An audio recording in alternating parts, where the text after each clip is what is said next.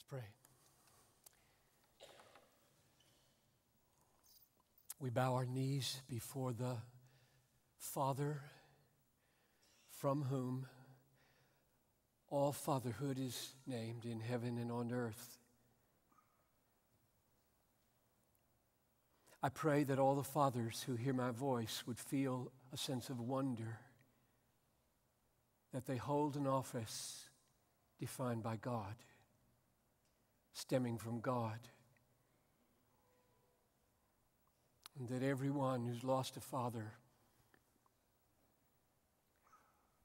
or never knew a father would know that fatherhood is in God. So, God, I ask that you would come and love your children now, and that you would grant us understanding and courage, and compassion and meekness and boldness, and saving, sanctifying, cleansing power. In Jesus' name, amen. This message is built around eight points that are intended to give a biblical vision for marriage as it relates in particular to homosexuality and the proposed marriage amendment in Minnesota. I ask that that text in Hebrews 13 be read, not because I'm going to do an exposition of it, but because of that one phrase, let marriage be held in honor. And I would like the upshot of this effort to open the scriptures concerning marriage and homosexuality to do that. I would like us to honor marriage more because of what we have thought about together. So I have eight points, and I'll just go through them one at a time. And you pray that I would speak them in the, in the truth of Scripture and in the tone of Scripture. And, and then when we're done and we realize how incomplete everything is, uh, pray that more can be said and written later. Number one, marriage is created and defined by God in the Scriptures as the sexual and covenantal union of a man and a woman in lifelong allegiance to each other as husband and wife with a view to displaying Christ's covenant relationship to his blood bought church. And perhaps I should say that I've crafted each one of these very carefully, and it'll just go right by you, and you'll not be able to write them down. And if you wanted to think about them, this is just going to go up on the internet by Tuesday with the very words. So just relax and, and do the mental work here. Don't, don't worry about this. You can, you can check it all out later. Just try to, try to stay with me in your mind and your, and your heart. So let me point to four passages of Scripture from which I got that definition of marriage. Genesis 1 27 and 28. God created man in his own image. In the image of God, he created him. Male and female, he created them. And God blessed them, and God said to them, Be fruitful and multiply and fill the earth. So, one of the most profound things that's ever been said is that God created man in his image, male and female, both in his image.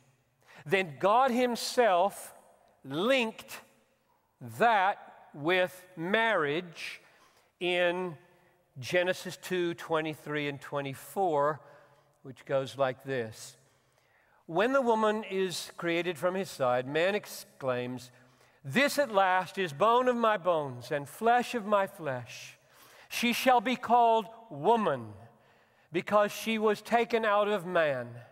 Therefore, a man shall leave his father and his mother and hold fast to his wife, and they shall become one flesh.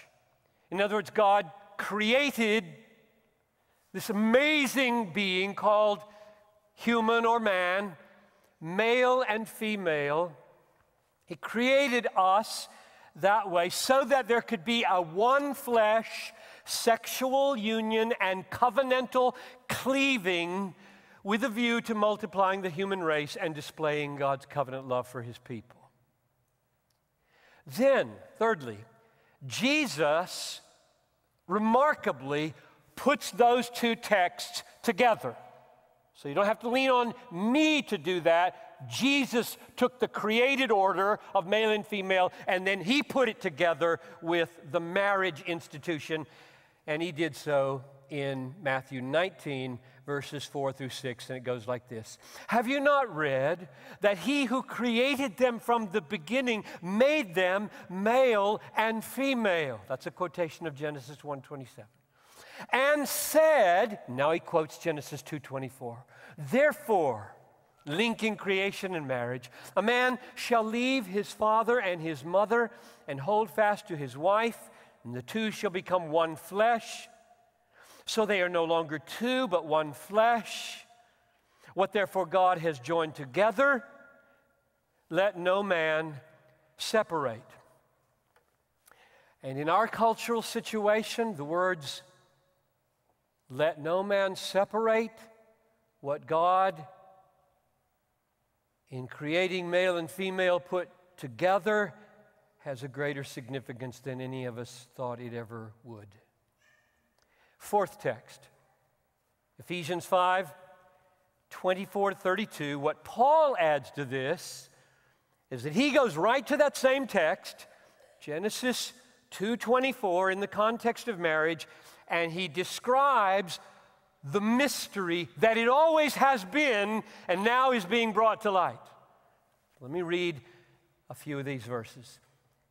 This is verse 24 of Ephesians 5. Now, as the church submits to Christ, so also, wives, you should submit in everything to your husbands. Husbands, love your wives as Christ loved the church and gave himself up for her. Now, jumping to verse 31 where he quotes Genesis 2:24. Therefore, a man shall leave his father and his mother and hold fast to his wife, and the two shall become one flesh. This mystery is profound. And I am saying that it refers to Christ and the church. In other words, from the beginning, there has been a mysterious and profound meaning to marriage.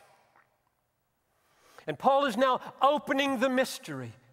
And it's this God made man, male and female, with distinctive feminine and masculine natures and distinctive roles going with those natures, so that in marriage, as husband and wife, they display Christ and his church. Which means that the basic roles of husband and wife are not interchangeable. And the husband displays the sacrificial love of Christ for headship, and the wife displays submission for Christ's body, living out this miraculous parable and drama that was there from the beginning, now called a mystery, being unfolded. The mystery of marriage is that God had this double, this double display. Husbands display the covenant love of Christ, and wives display the covenant love of the church. He had this, this mystery in mind from the beginning. And therefore, the profoundest reality in the universe underlies marriage as a covenantal union between a man and his masculine nature and a woman and her feminine nature, displaying different things. End of point number one. Number two, there is no such thing as so called same sex marriage, and it would be wise not to call it that. That's point number two. Now, the point here is not simply that um, so called same sex marriage shouldn't exist. The point is, it doesn't and it can't. those who believe that God has spoken to us truthfully in the Bible should not concede that the committed, lifelong partnership and sexual relations of two men or two women is marriage. It is not marriage, no matter what anyone on the planet says. God has created and defined marriage.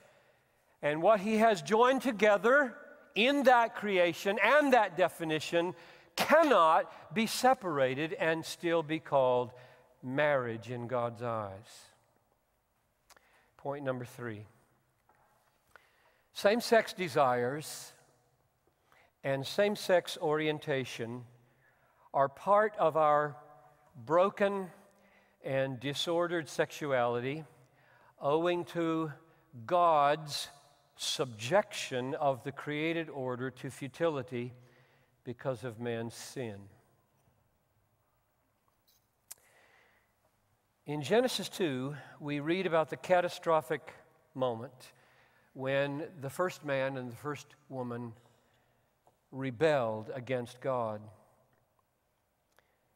And the effects on them and on the world are unfolded for us in chapter 2 and chapter 3 of Genesis, and then illustrated in the sin soaked and death ridden remainder of the Old Testament, indeed, all of history.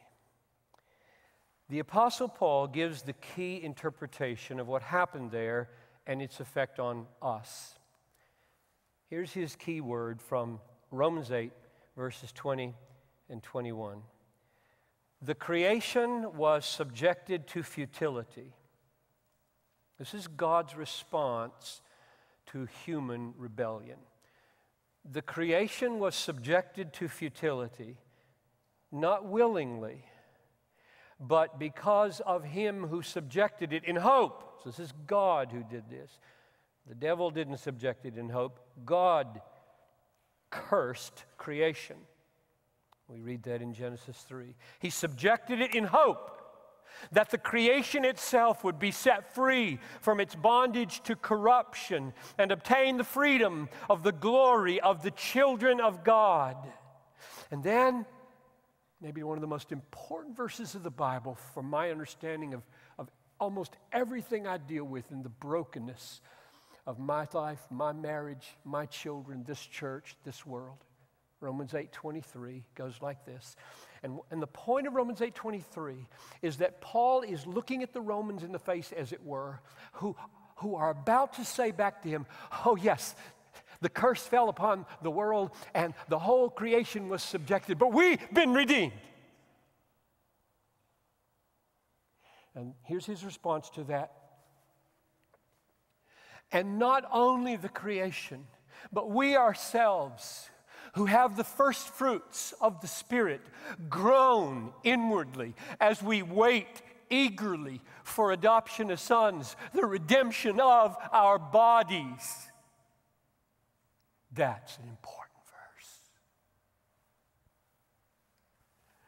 And I'm arguing that same sex desires and same sex orientation are in that category of groaning waiting for the redemption of our bodies, which means they're in the, the same broad category with all kinds of disordered bodies and minds and emotions. If we tried to make a list, if we tried to make a list of all the kinds of emotional and mental and physical brokenness in the human family. The list would be unending.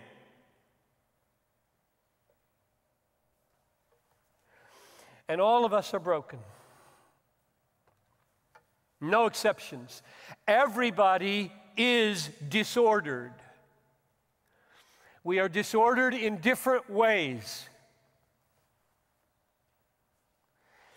All of you, without exception, all of you are bent toward desiring things you ought not to desire.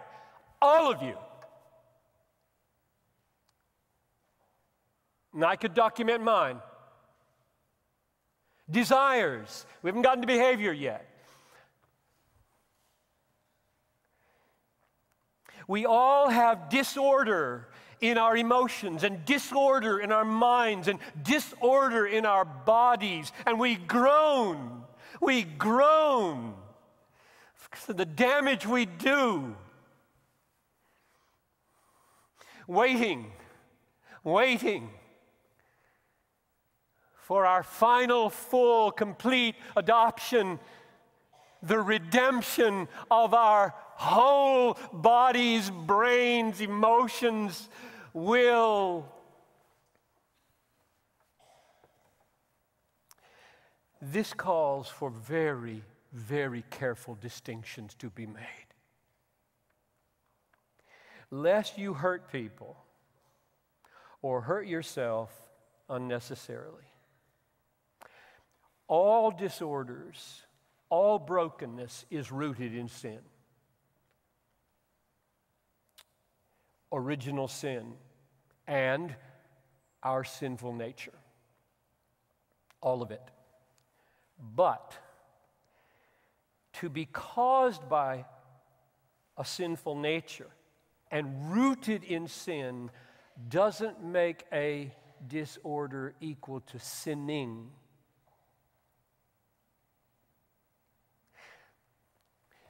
Say it a little differently because our language here just has to be so careful.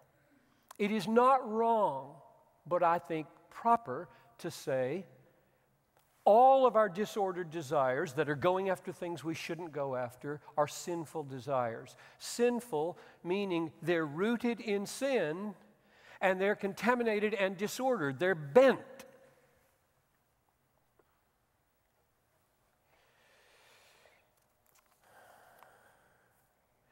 Hold that.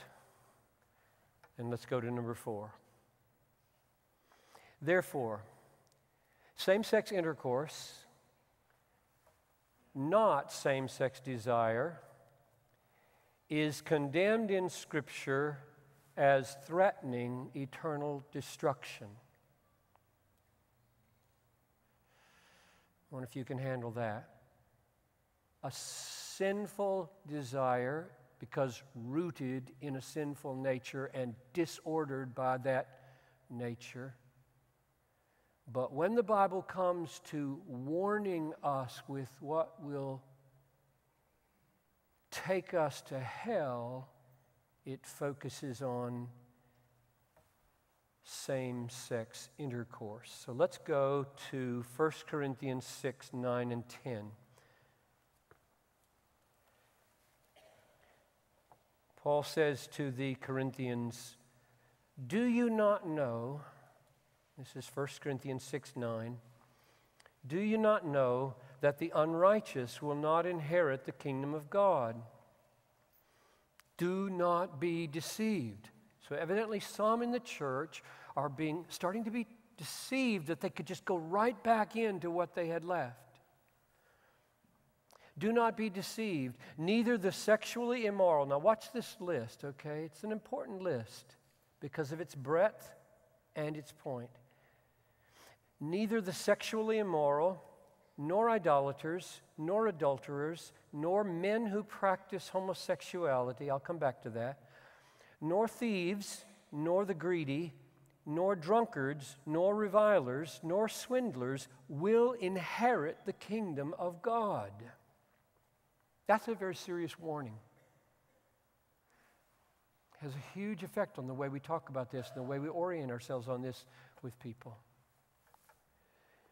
Now, the words in verse 9, at the end of verse 9, men who practice homosexuality, I don't know what your version might say, that's the ESV. Those words translate two Greek words. And those two Greek words very probably refer to the passive and the active male in homosexual intercourse.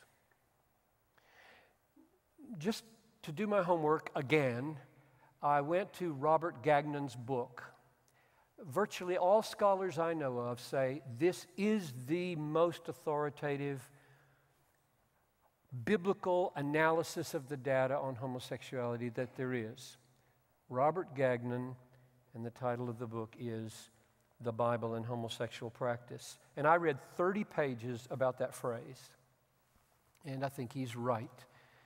Namely, that this is a good translation of those two words men passively or aggressively who are engaging in some kind of homosexual intercourse. So the focus here is not on the desire that is prompting that, but rather on the practice flowing from the desire. And just as important is to notice this it's not singled out, it's in a list, isn't it? A very familiar list, a list from which none of you is innocent. Not one. I thought a lot before I said that. I looked at this list carefully. Therefore, nobody's going into the kingdom of heaven if they give themselves away to that behavior or to that desire. Abandoning yourself to a desire like greed is as bad as abandoning yourself to stealing. Number five, therefore, it would contradict love and contradict the gospel of Jesus to approve homosexual practice, whether by silence or by endorsing so called same sex marriage or by affirming the Christian ordination of practicing homosexuals in the Christian church. We must not be intimidated here the world is going to say the opposite of what is true here. So you need to be ready for this if you haven't experienced it already. They're going to say that warning people who practice homosexual intercourse that they are subject to final and everlasting judgment is hateful. That's what they're going to say. It is not hateful. Hate does not want people to be saved.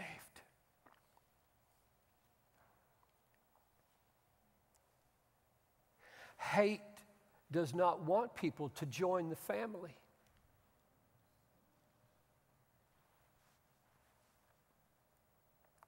Hate wants to destroy, and sin does destroy. If homosexual practice and greed and idolatry and reviling and drunkenness lead to exclusion from the kingdom of God, then love warns. Love pleads. Love comes alongside and does everything it can to see that this person have life forever. That's what love does. Number six. The good news of Jesus is that God saves heterosexual sinners and homosexual sinners who trust Jesus. By counting them righteous because of Christ, by helping them through His Spirit to live lives pleasing to Him in their disordered brokenness. Now we go to verse 11, the most important verse I will read in this message. 1 Corinthians chapter 6, verse 11, after warning the Corinthians not to fall back into lives of sinful practice lest they perish, he says this, and the implications are huge for us. And such were some of you. But you were washed, you were sanctified, you were justified in the name of the Lord Jesus Christ and by the Spirit of our God. This is the heart of biblical Christianity. Such were some of you. There were Christians in the church at Corinth that everybody knew had been fornicators. Everybody knew they were adulterers, and everybody knew they had been practicing homosexuals. They knew it. Paul knew it. He's not even there. They were not driven away.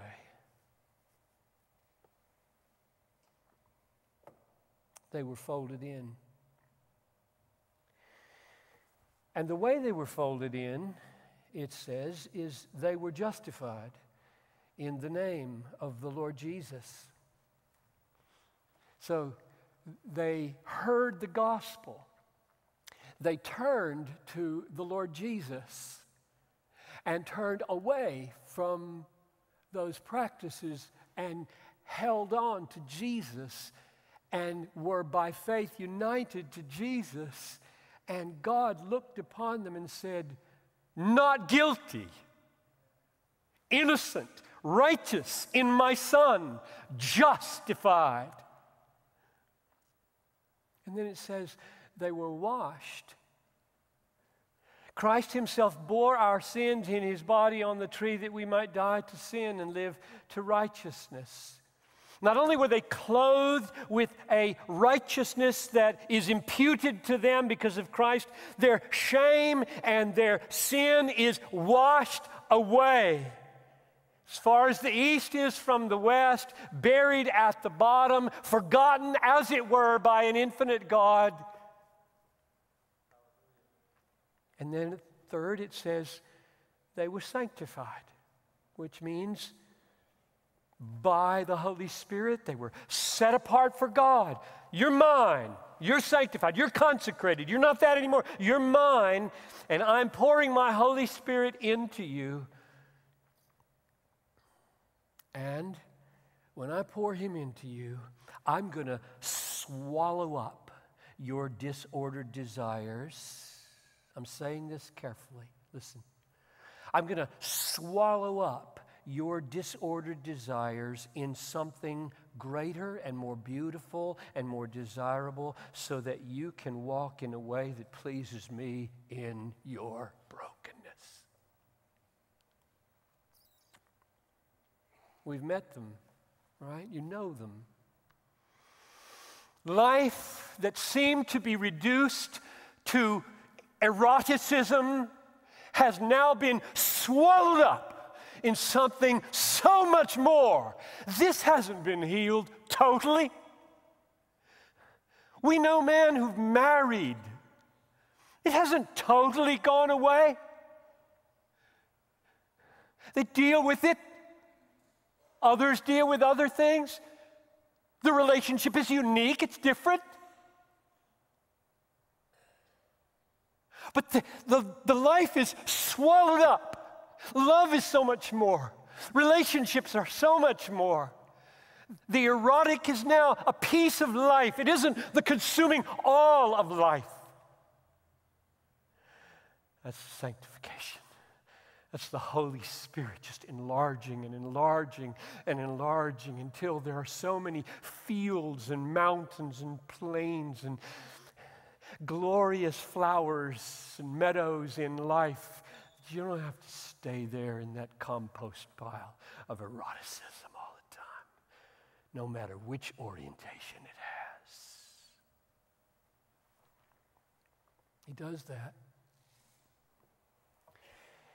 The heart of Christianity is that God saves sinners through the death and resurrection of Jesus Christ. The best news in all the world is that Jesus Christ died and rose again, that the most bizarre sexual predator, pick your one in the news right now.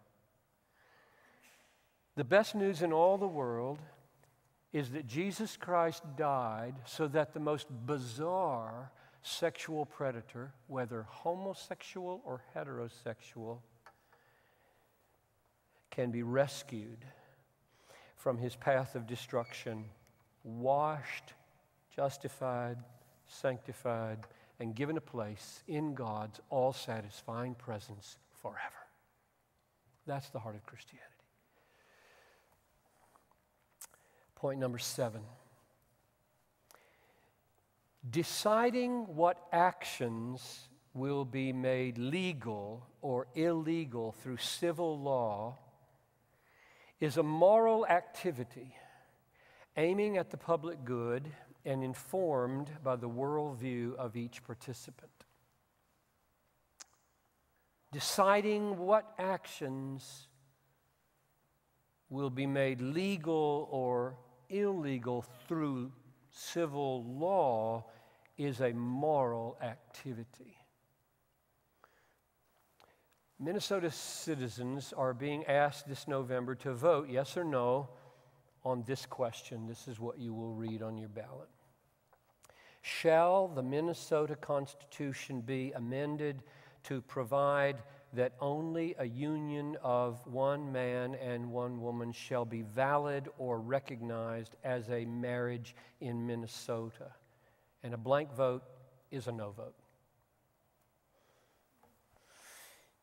Now, if passed, Section 13 will be added to Article 13 of the state constitution, which will read this only a union of one man and one woman shall be valid or recognized as a marriage in Minnesota. So the question I'm asking under point seven is how should Christian citizens decide which of their views they should seek to put into law?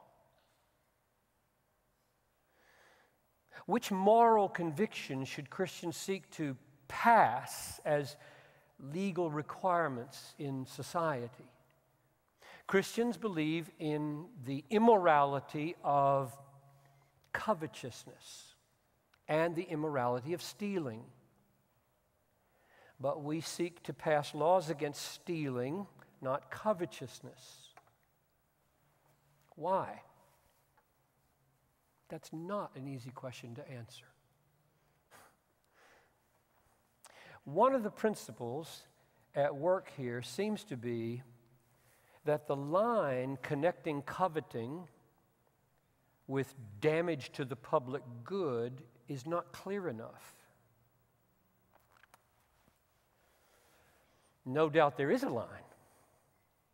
No doubt there is a connection that God sees perfectly clearly, and if everybody stopped being covetous, society would be a lot better. No doubt. But it's very hard to draw that line. And therefore, it seems that that's one of the principles that keeps us from legislating things like covetousness. It's not clear enough how laws and penalties could be enacted to manage its reality and its effects. This is why we must leave hundreds of immoral acts for Jesus to sort out when he comes back.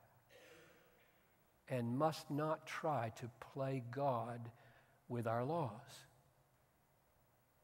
Jesus can see every heart perfectly, and everyone will be rewarded according to his heart as well as his actions because Jesus can see and we can't. Laws exist to preserve and enhance the public good. Everybody would agree with that? Which means, here it gets controversial, all laws are based on some conception of what the public good is. What's good?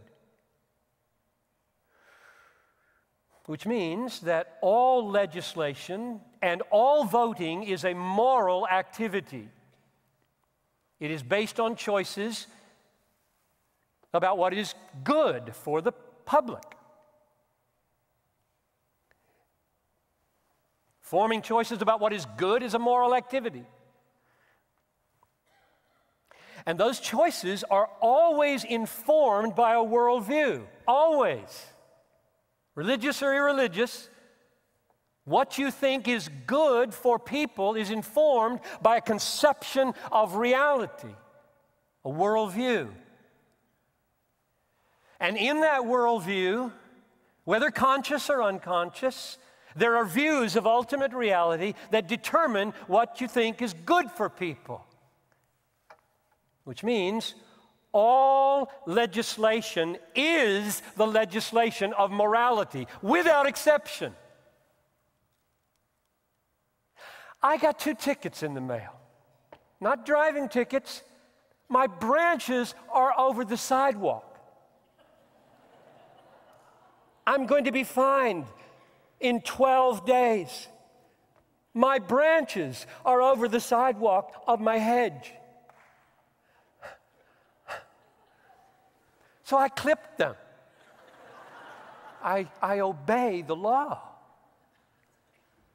Then I got another one. I forgot to put the clippings in a compostable bag. And now, by Tuesday, I have to empty the big black sturdy bag into a wimpy little green bag. now, what's the point of that little interlude? The, the point is, isn't it amazing that there's a cultural consensus about the good that, it, that puts the power of jail and fines into the hands of the police because of my branches. My branches are too long. I, I personally think that's probably a good law. I don't like messy neighborhoods. I'd like to take some of the other houses in my neighborhood and say, why don't you send in some letters?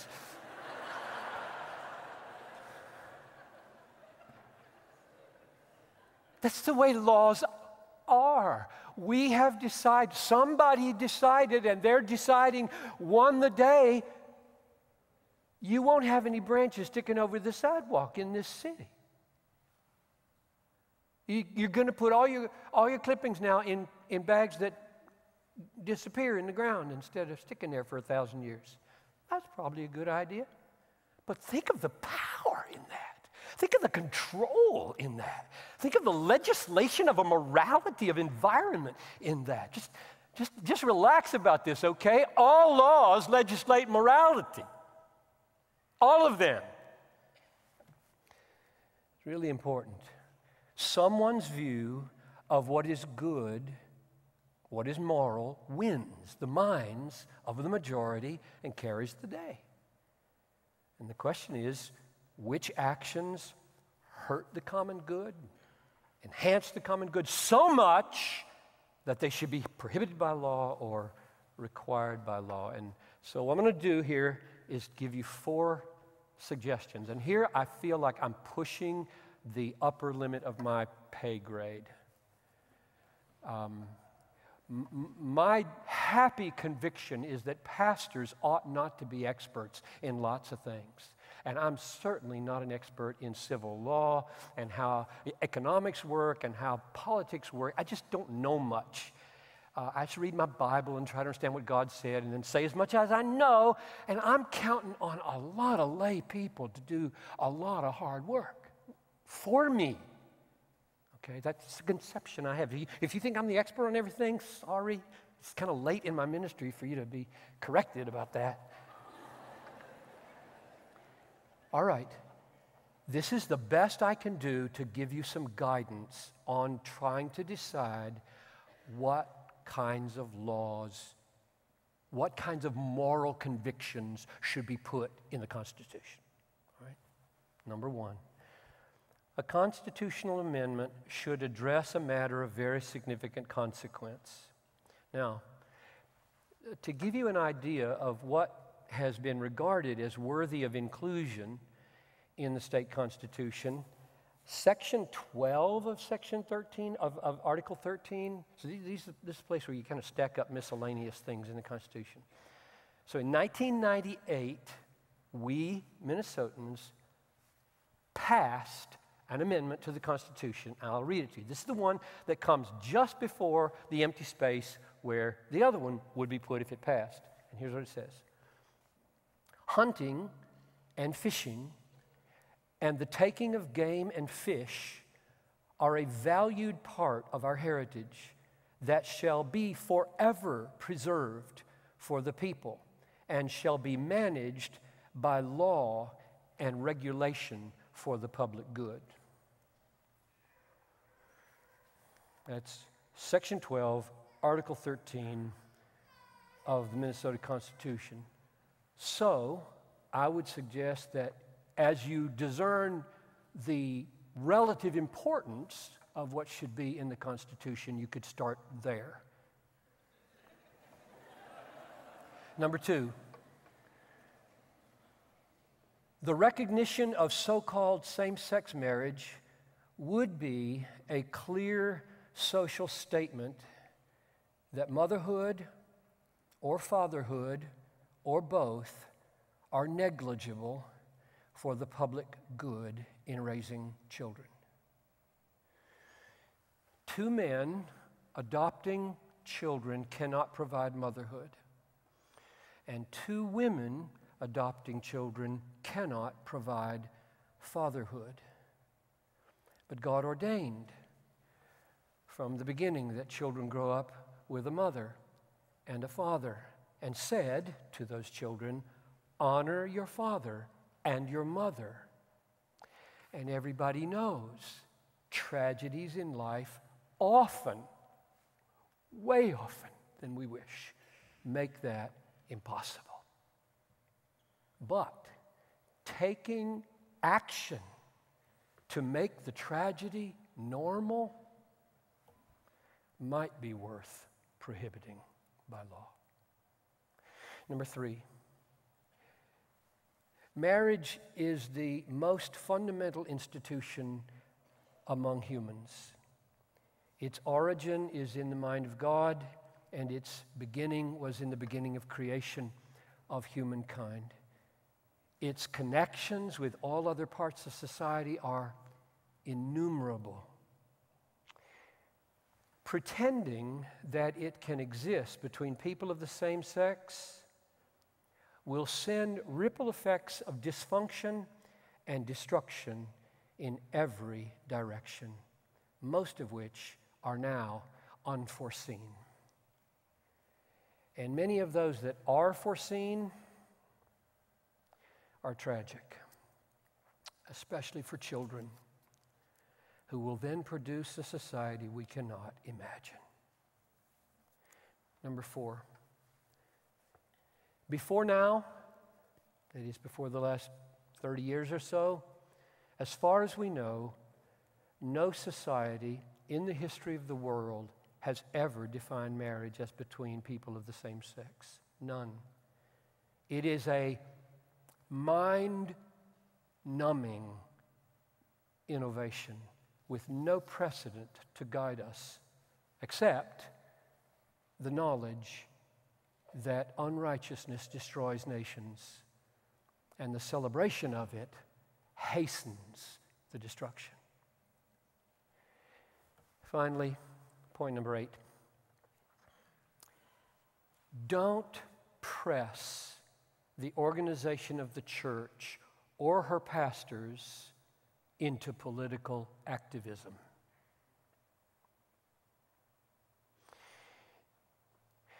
pray that the church and her ministers would feed the flock with the Word of God, centered on the gospel of Christ crucified and risen. Expect from your shepherds not that they would rally you behind political candidates or legislative initiatives, but that they would point you over and over and over to God and to His Word and to the cross. Now, please try to understand this concluding point. When I warn you against politicizing me or politicizing the institution called Bethlehem or the church in general, I do so not to diminish the church's power, but to increase it. The impact of the church for the glory of Christ and for the good of the world does not increase when she shifts her focus from worship of God, winning of souls, maturing and nurturing of faith, and raising up a new generation. It doesn't. It feels in the moment like it does. Oh, look how many people showed up for the rally. Or look how many signatures in that church they got. Or look how that committee is functioning. Or it feels powerful. Give it a generation. And little by little, that vaunted power bleeds away the very nature of the church and its power. If the whole counsel of God is preached with power, week in and week out, Christians who are citizens of heaven and citizens of the democratic order will be energized as they ought to speak and act for the common good. It's your job, not mine.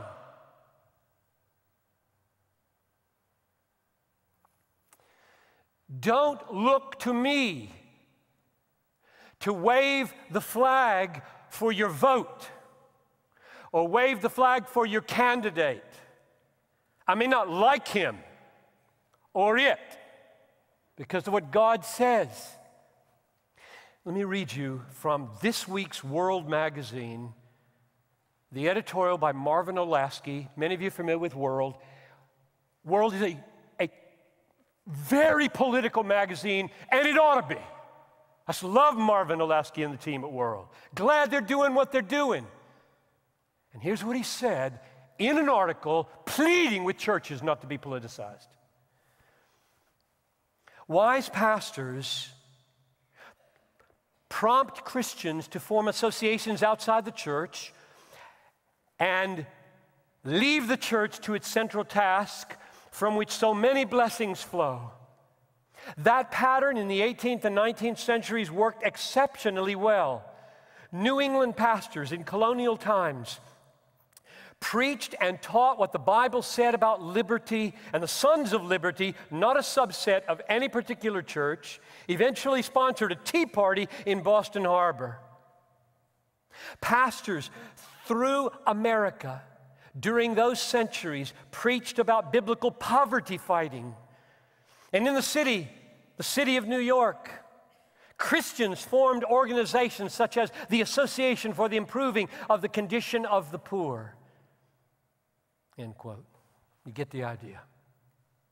My job is to feed the saints with such meals that they go out strengthened and robust and, and able to do the study and do the, the courage and do the action needed as salt and light in this world. And that will go away if you insist on the church and the ministry being the political leaders. It will. And we could point to many where it has. Now, I'm done.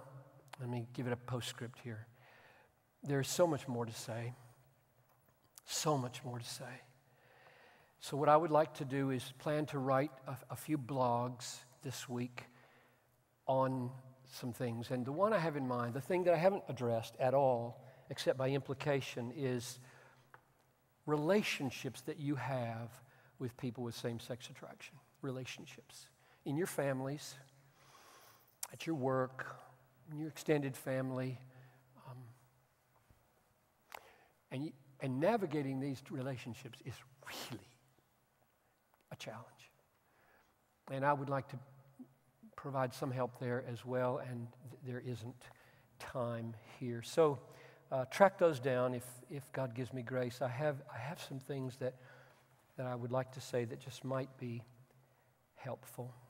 So, concluding word. Remember, you who trust Jesus, and, and I hope all of you will, because that's the center of this message.